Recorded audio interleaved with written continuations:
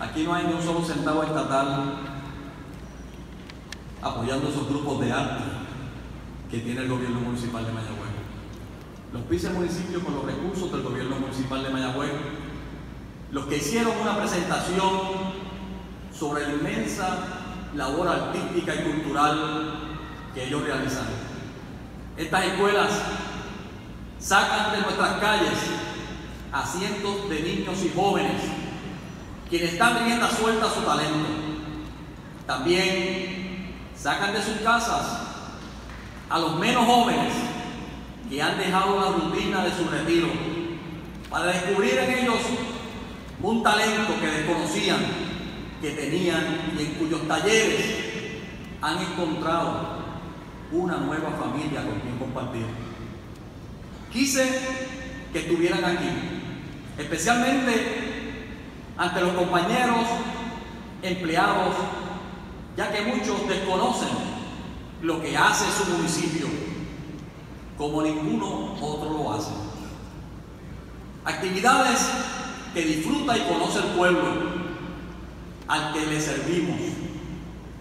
Todas actividades gratuitas que nos hacen fortalecer nuestras raíces y nuestra cultura y que, y que pocas y que en pocas ocasiones yo veo a los compañeros de trabajo disfrutándolas también y aplaudiendo el esfuerzo grande que estos niños y jóvenes y adultos realizan con un amor y orgullo al representar a nuestra ciudad.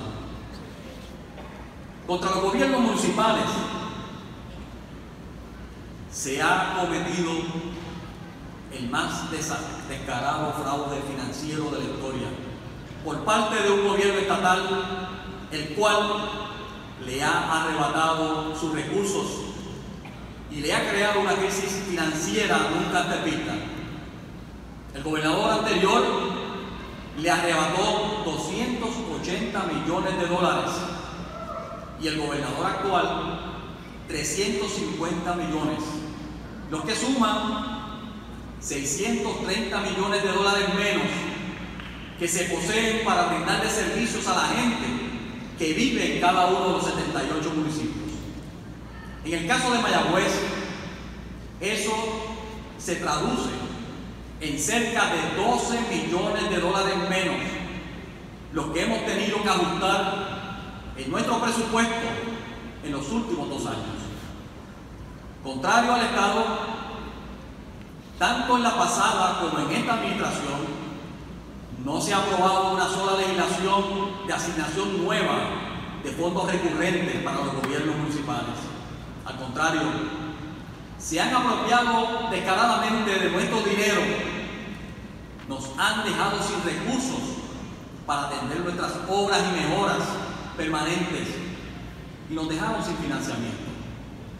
No conforme con eso, el pasado gobierno congeló el sobrante del CAE, producto de las contribuciones de la propiedad pertenecientes al gobierno municipal de Mayagüez en este caso, después de cumplir con el pago de sus obligaciones y préstamos. Luego de cubierto ese pago, ese sobrante, que en el caso de Mayagüez el pasado año fue de sobre 3 millones de dólares, el ex secretario de Hacienda, quien también fue el que le arrebató a los contribuyentes sus reintegros, se apropió de los recursos de los municipios para fortalecer la caja de Hacienda. Y tiene la cara de chula de decir que aspira a ser gobernador de Puerto Rico. Los que le sus sobrantes de las contribuciones, yo sé que van a votar por él. El presupuesto sometido para el año fiscal 2018 y 2019 asciende a 61 millones 544 mil 588 dólares, lo que representa 7 millones 547 mil 80 dólares menos que el presupuesto vigente y 11 millones 587 mil 80 dólares menos que el presupuesto del año fiscal 2016-2017. Esto es el impacto negativo a los recortes que el Estado le ha hecho a Mayagüez en los pasados dos años. Ajustes que hemos tenido que hacer en nuestro presupuesto. A pesar de eso, nuestro apoyo a la cultura y al deporte tendrán y tienen prioridad en nuestro presupuesto. Así también la salud, la educación y la seguridad de nuestro pueblo.